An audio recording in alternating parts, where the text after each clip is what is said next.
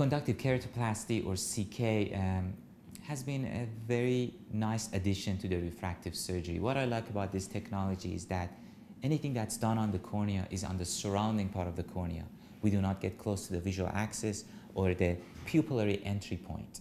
Thus, even based on the FDA result, there was no loss of uh, visual acuity in any of the patients that underwent these surgeries.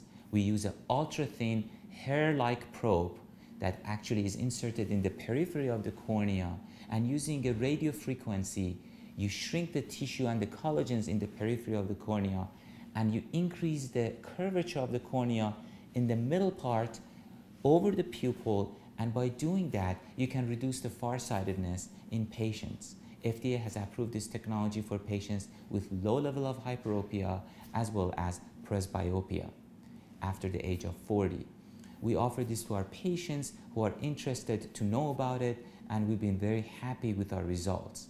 True that in some patients, this technology may not be the appropriate choice, but I encourage you to ask your ophthalmologist about conductive keratoplasty.